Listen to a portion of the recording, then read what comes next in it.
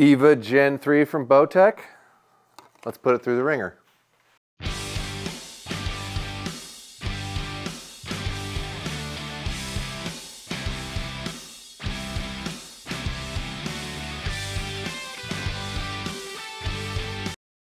Hello and welcome back to the YouTube channel. MFJJ here with PodiumArcher.com looking at the new Gen 3 EVA from Bowtech.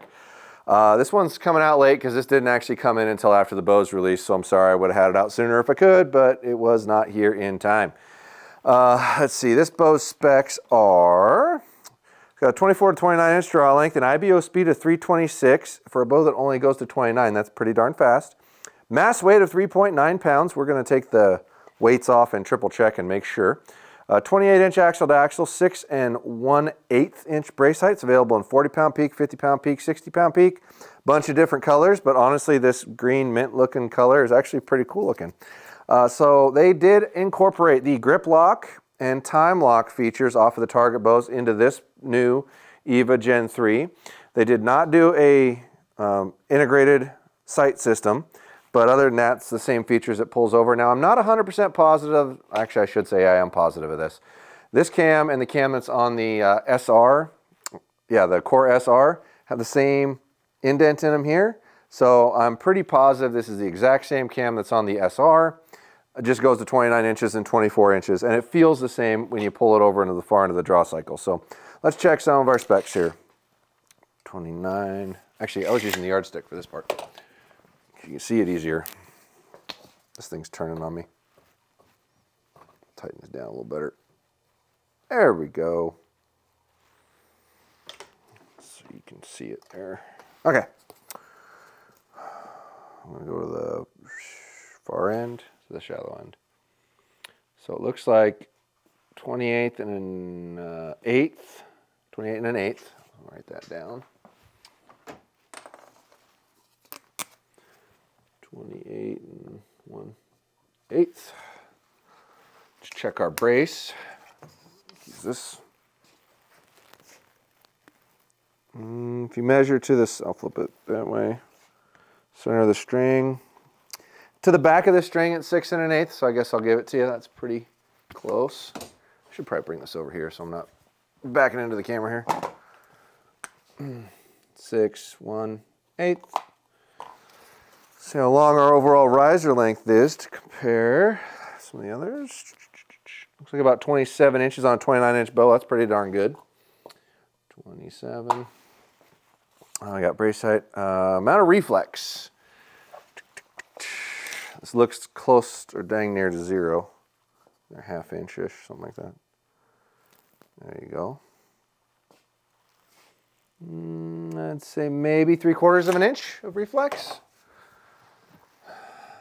three quarter. All right, let's, that's all our measuring things there. Let's check our weight here. Got it, see how many pounds it's at.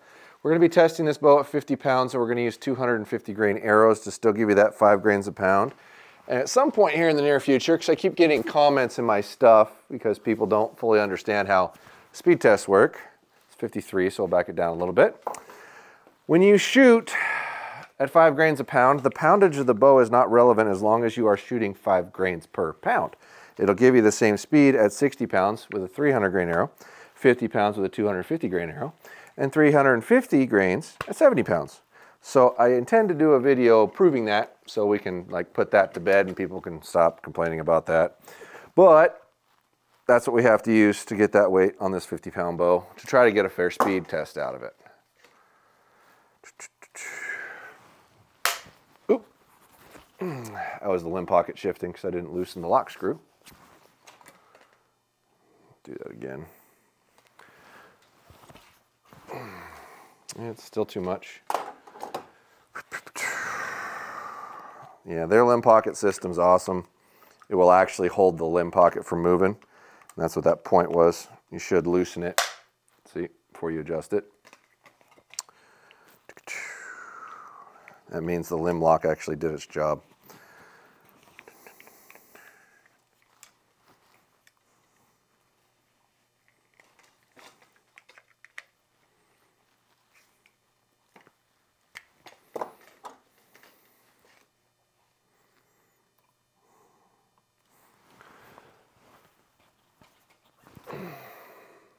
Fifty point eight, we're still a little heavy.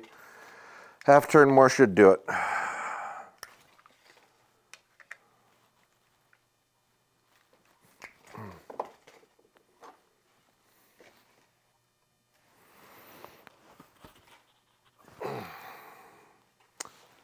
Fifty point three.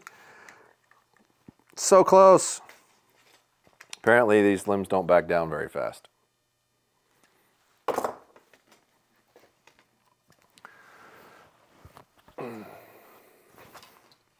Fifty point zero. There we go. All right, we should probably weigh the physical weight of this too. Let me lock these limb screws down. We'll weigh it with the dampeners and without the dampeners just because I'm curious if this is actually close to the weight they say it is at 3.9. Well, we're weighing out at 4.2, so it probably is. Just for fun, let's take them off and see what it weighs. There's an Allen screwed down in there, and it looks like it's smaller.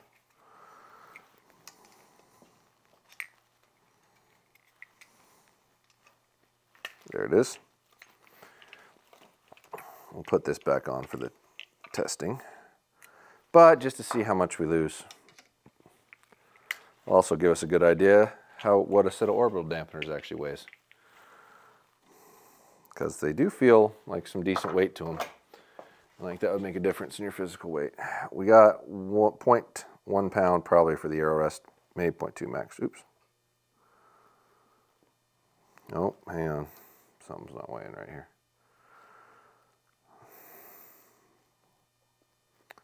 So it's saying 4, and it's supposed to be 3.9, and that rest is a tenth of a pound. So this bow weighs 3.9 pounds.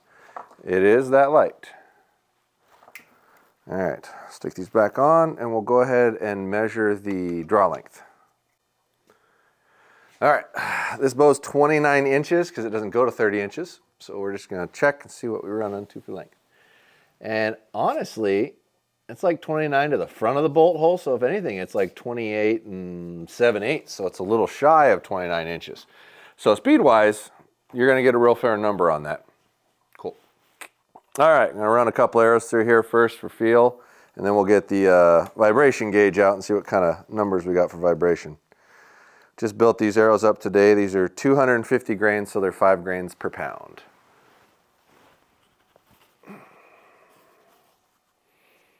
Cycle feels like almost exactly the same. That's pretty nice. Um, to the uh, the SR, I could call it, um, that has the same etched cam on it. So there's a bit of a hump in the back end of this. So it feels like it's kind of hard to break over at the end. I'm doing it slow on purpose so you can see it right there. Um, it does have a very short valley, but that's good for consistency. It's just if you relax, it may go forward on you. Uh, but I'm willing to bet if you shorten this bow up, it doesn't feel like that. It, that hump's probably gone. They probably got that in there towards the back end to try to get that extra little bit of velocity out. So this has got to be the exact same setup as the SR because it feels just like it. And that back little bits, uh. and it's not there in comfort, but it's only in performance. But we test all their bows in performance only now. Yeah, that feels good. Let's uh, get the vibration meter on there and see what it's doing. Okay, time to check some vibrations.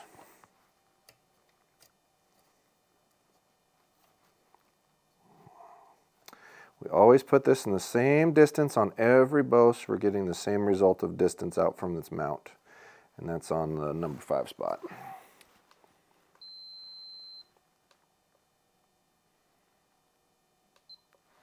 All right.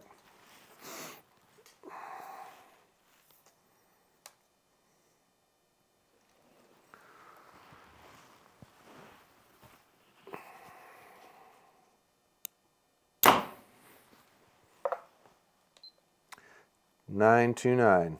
That is the lowest number we've seen. Uh,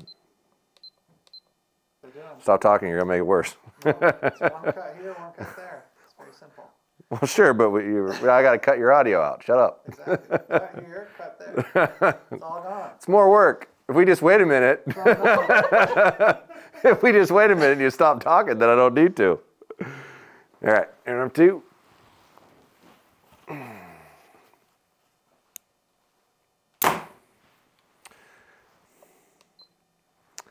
1193.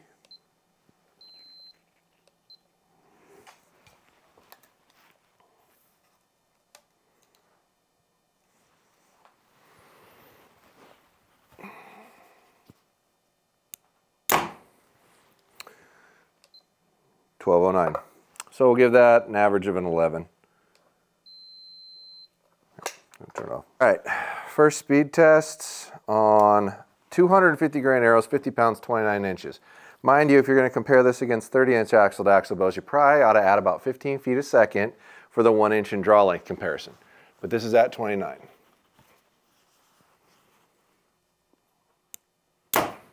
Three twenty-one.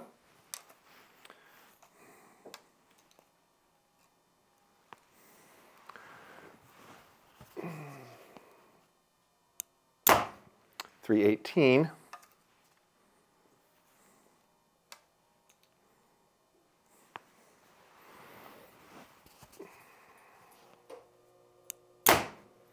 312, that was weird. I better shoot one more. 321, 318, then a funky 312, so we're gonna shoot one more and make sure we get one like the others. That's, there's no way that's right. 315. All right, so we'll have to give it uh, a 318 average then. 350, 318, and then we're gonna shoot Normally, oops, sorry, that's a 250. Normally we shoot 350, 450, and 550, but on light bows, we're gonna shoot 250, 350, and 450 because those are probably more relevant weights to actual usage at that lighter poundage, so you have more accurate numbers. So shoot 350s and 450s and see what we get. All right, now we're shooting 350 grain arrows at 29 inches at 50 pounds.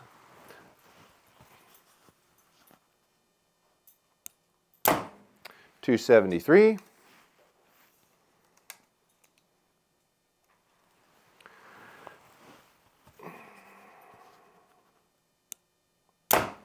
Two seventy one.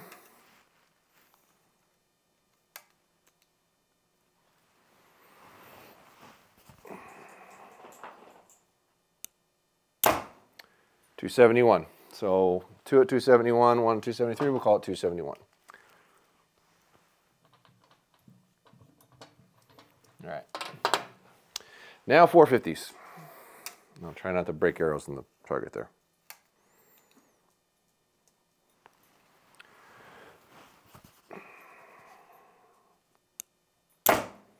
Two forty-two.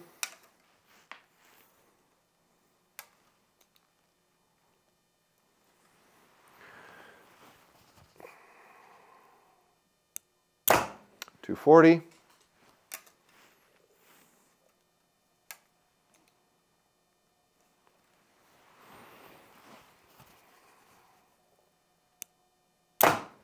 238. So we'll call it 240 for our third one. All right, so let's see here. use my colored pens.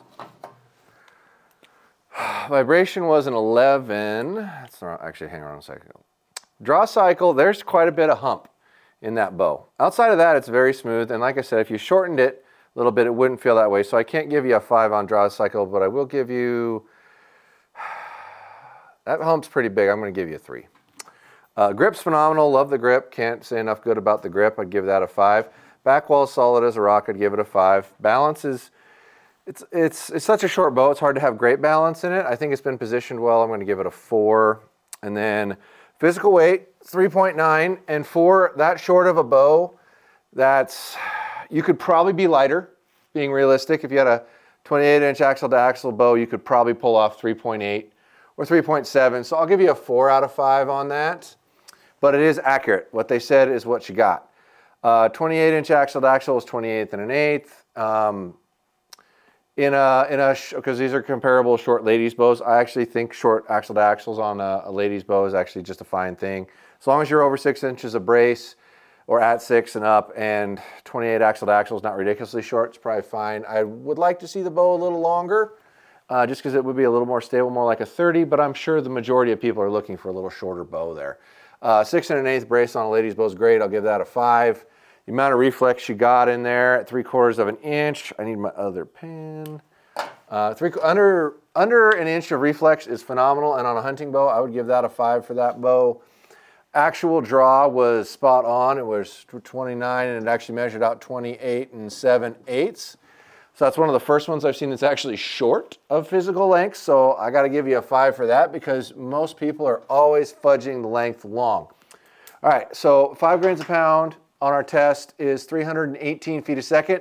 Uh, right there, 318 averaging 326. For that bow at 29 inches, even if I gave it 15 more feet a second to be, it would be 330, be in the mid 330s. I'll give you a four out of five on that.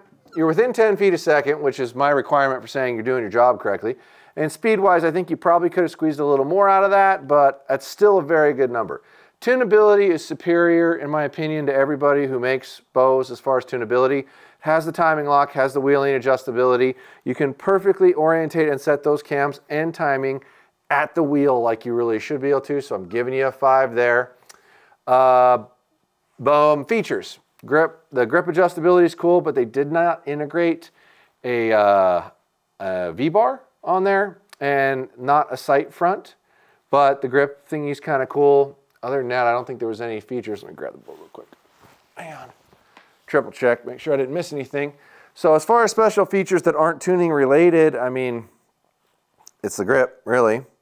And, oh, uh, rear mount rest, but there is no front mount sight. And there is no integrated V-bar bracket. So I'm gonna give you a three out of five on features there. Uh, vibration 11, um, that's, I gotta give you at least a four on that. I did feel some vibration when I shot it too, so that doesn't shock me for how light it is that there was a little, little bit of vibration in it. I'm gonna give you a four out of five. Uh, $12.99 retail, $11.99 map for this size, this frame, this dimension. I don't think it's ridiculous by any means. I don't think it's a steal. I think it's probably where it belongs. It probably needs to be about in that price point. So I'll give you, uh, I'll give you a four. Well, no, I'm not gonna do that. I'm gonna give you a three. I'm comparing you mentally to other ladies' bows, and that's a bit on the higher than most of them. I know, I don't know if Hoyt's replacing their ladies' bow, but Hoyt's bow's cheaper than that by a pretty good amount. Um, Mathews bow's cheaper than that by a pretty good amount. So you're up there a bit. I'm going to give you a three out of five on that. So I think that's all the categories. Yep. All right. So 5, 10, 15, 19, 22, 25, 29 on the high score.